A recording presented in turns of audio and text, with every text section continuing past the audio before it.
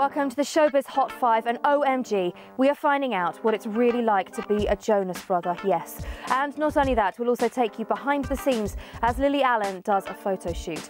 But first, at number 5 in my rundown, have you seen the Saturdays new video? You'd remember it if you have. Uh, they've done a cover of Depeche Mode's Just Can't Get Enough for comic relief. And boys, it's kind of raunchy. There's even a little bit of pant flashing that's we, we're not ourselves. We weren't usually flashy like that, but you know, we're just we're just playing a part at the end of the yeah. day. But it was fun. Yeah. In at number four. Now it's not every day that somebody that you know wins an Oscar. So when it does, Quite simply, you party. Here's the celebrations at Kate Winslet's old drama school.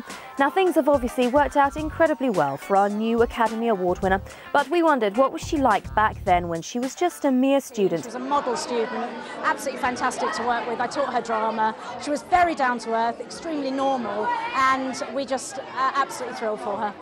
At three, just when you thought that teenage heartthrobs the Jonas Brothers couldn't get any better, they not only bring out a new movie, wow, I know, but they bring out a special film that will allow us to feel like we're one of them. With this film, we really wanted you to get the experience, what it's like on stage with us. And so there are a lot of shots where you get to see what it's like from our perspective and our views and our things like that. And we wanted that, that experience that the fans are giving us, we wanted to share that.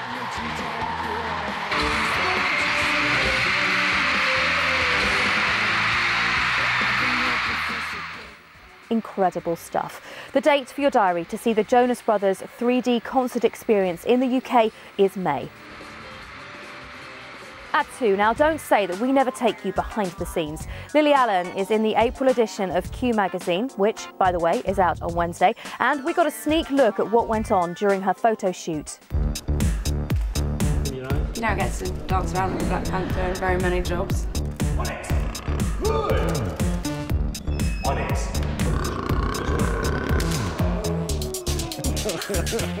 wow, I think she looks amazing. And I have got no stomach envy. None. Nothing. No.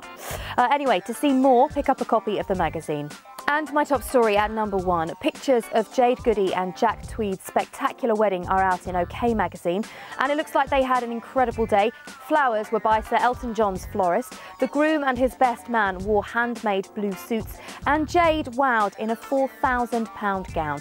So we'd like to say congratulations to Mr. and Mrs. Tweed. That's the latest showbiz news. There'll be more here for you soon.